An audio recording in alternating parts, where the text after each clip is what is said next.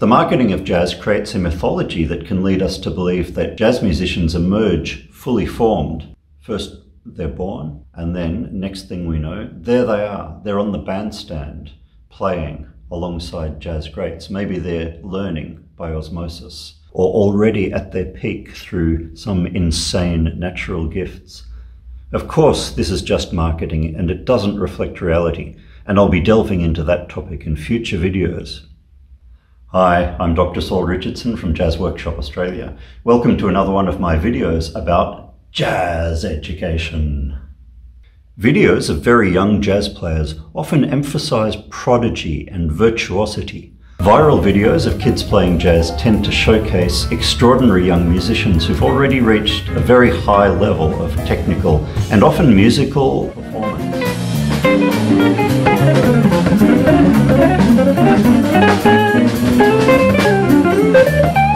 We see the prodigy and we're dazzled by their achievements. It's amazing. They're so young, they're so talented, and so on.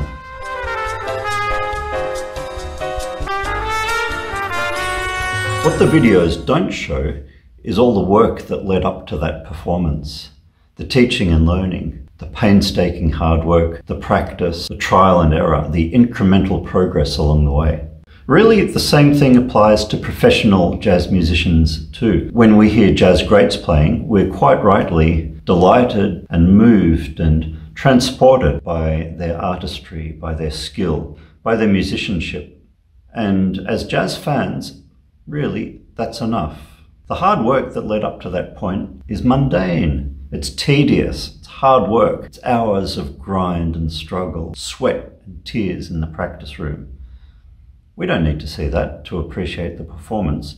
But here's the thing as jazz educators, as teachers, as students, as parents, as mentors to aspiring jazz musicians, it's important that we see not just performance, but also teaching and learning.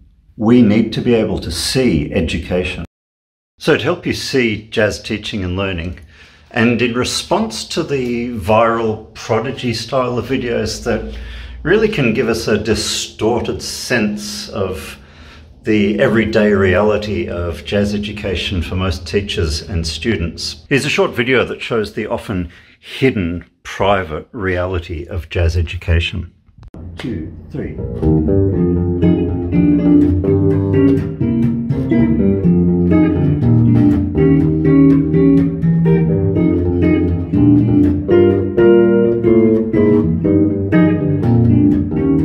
This young student, who I'll call Mike, has just started on his jazz playing journey. He's been playing electric bass for a bit more than a year now, and he's doing really well. In fact, he's doing so well that I'm proud enough to put him on YouTube.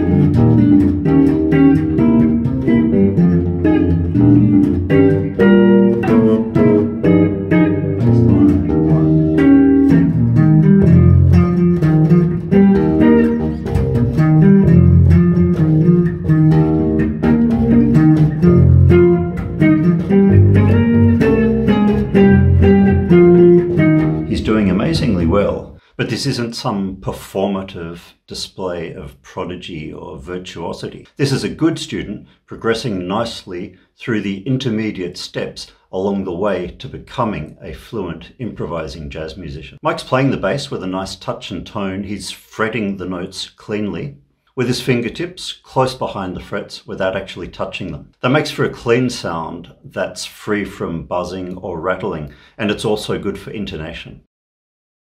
He's playing notes that are relatively difficult for his age and level, but he's playing them accurately and with a sense of style and musicality. And part of that sense of style comes from Mike listening to recordings of Charlie Parker playing this tune, along with other players too.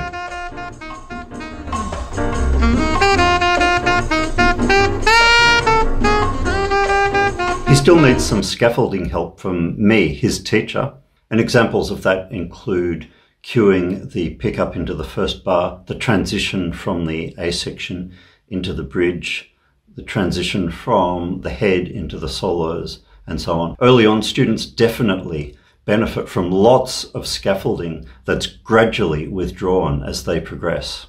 There's absolutely nothing wrong with giving students some prompts as they play, even during a performance. It's better to help them and give them a positive experience rather than sit back and watch them struggle, watch them train wreck, suffer the embarrassment and the humiliation and the the negative experience that that can entail. Mike's learnt some important jazz terminology like head, bridge, bassline, solos, pickup. And as well as that, in the lessons leading up to this video, Mike has learnt about the cycle of fourths, He's learnt what it is and how to play it, and he's used it as a pattern for practicing scales, arpeggios, riffs, bass lines, and so on. He's also used his knowledge of the cycle to help him construct the bass line in this tune. Oh, and it's My Little Suede Shoes by Charlie Parker. I'm not sure if I mentioned that yet. And in the lessons, I showed him how the root notes of the chords in the 251s and the 3625s in this tune follow the cycle.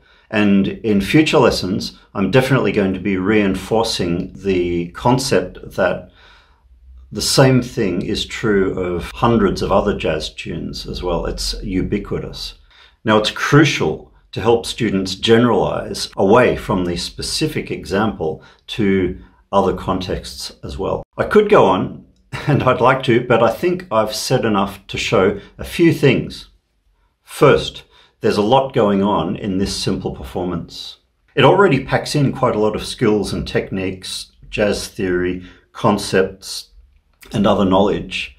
Uh, there's also a growing awareness evident of jazz procedures. Second, this video shows a student in the early stages of a long process of teaching and learning. If Mike keeps going as he is, he can absolutely go on to become an excellent professional jazz musician if that's what he wants. And yes, when I say teaching and learning, I do mean teaching. I'm teaching Mike how to play jazz. The things that I'm teaching him and the things that he's learning are things that go into making a jazz musician. This example shows that the steps along the way to learning jazz don't necessarily sound exactly the same as the finished professional performance product. But you know what? That doesn't matter. Education, teaching and learning are not the same thing as performance. What we're looking at here is education. What we need to see is education. Now finally, the third important thing is that this clip shows how awesome Mike is as a student and how proud I am of him. Prodigy is just someone who reaches fluency at a younger than average age. It's fun and exciting to see these amazing young players in action. But in the end, pretty much everyone who does the work, puts in the time, and genuinely makes the effort can reach about the same level. Look, as soon as a child prodigy stops looking like a little kid, they're not a child prodigy anymore. They're really just another good player, a good professional player on the scene. The things I've highlighted here in Mike's performance are all aspects of education. They're all aspects of teaching and learning. They're all small steps along the way on the long journey to becoming a jazz musician. And they're among the kinds of things that the marketing of jazz overlooks. As teachers, it's important that we're not distracted by that marketing, by fantastic tales of preternatural talent or wild claims that all the jazz greats were self-taught. It's important for us and other stakeholders, such as parents, school systems, our students, and others, to see the education in jazz. If we can see it, then we can develop it and we can do it better. Hmm? So, thanks and see you next time. Teach well.